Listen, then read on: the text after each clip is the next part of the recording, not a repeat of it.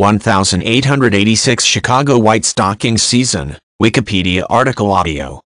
The 1886 Chicago White Stockings season was the 15th season of the Chicago White Stockings franchise, the 11th in the National League and the second at the first West Side Park.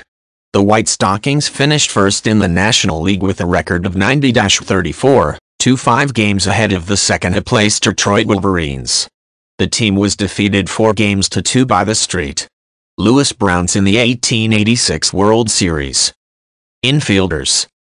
Note, Pos position, G games played, AB at bats, H hits, AVG.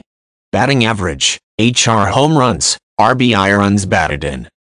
Note, G games played, AB at bats, H hits, AVG. Batting average, HR home runs, RBI runs batted in. Note, G games pitched, IP innings pitched, W wins, L losses, ERA earned run average, so strikeouts.